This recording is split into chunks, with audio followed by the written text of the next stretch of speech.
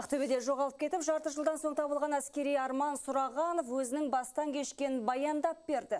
Тек өзінің туған туыстарына.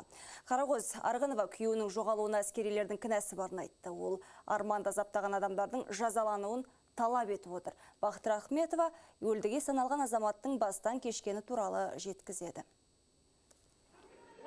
Арман Сұрағанов кезекшілікте болған сол 14 мамыр күні кешкі сағат 10-нан өте келіншегіне қоңырау шалып жағдай сұраған.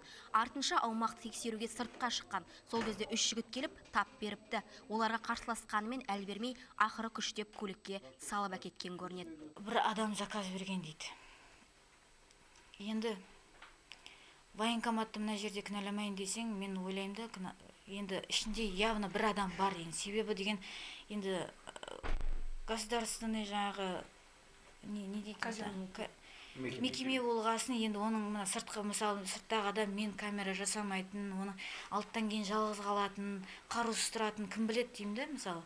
Соған қарағанда мен ішінде бір адамнан күдіктенемін. Не де болса да сол бір адам бар деп ойлаймын. Арманды ұрлаған адамдар оны сол көлікке салған күйі Қостанайға алып кеткен көрінеді.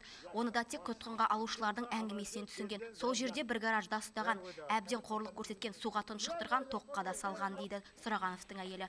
Үш күнде бірле тамақ беріп, иісін ауыстырғысы келген көрінеді. Мені ұрлаушыларды оңтүстік жақтың адамдары жалдаған, түрлері қазақ болғанымен, біреуді Егор деп атаумен болды деп арман болған жайтты баяндап беріпті. Ал жарты жыл бойы күйеуін көрмеген келіншек алып қашқа әңгімелерден де шаршаған сыңайлы.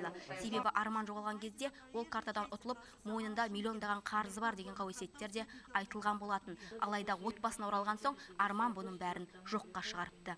ақ қарасын шешіп алу керек главное. Сосын жаңағы енді адамдарды ұстап жазасын бердету керек ол деген адамның өмірін ойыншыққа айналдыру енді.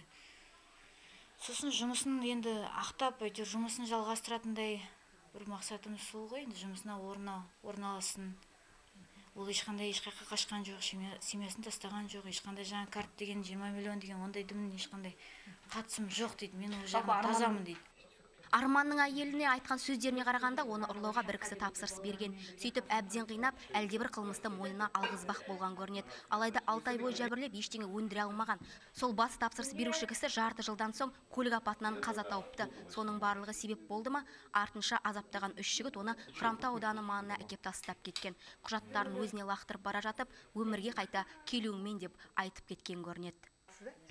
деп қуанғаннан соны ноябрьге жиырма үші күні он үшінші август туған күні еді. Енді ноябрьге ауыстырайық деп жатыр амандық болса ертең паспорт документтерін ауыстырайын деп отырмын. Сол баламның несіне қуаныш деп ат- атын қоймақпын Сұрағановтар әулетінің жанына бататын тағы бір мәселе полицейлер арманды таба алмаған соң оны өлілер санатына қосып істі жауып тастаған.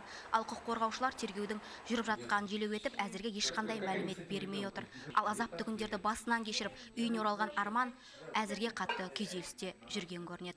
Бақыт Рахметова, Аманжол Айтмағамбетов, News, Ақтөбеден.